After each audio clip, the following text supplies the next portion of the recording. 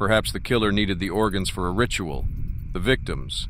Linda Marciano, a Brazilian naturalized American, Joanna Kenny, a middle aged American, and Mary Fell, an apparently innocent housewife who used a watch as a lucky charm, don't seem to have any obvious connection, except for the similar organ removal.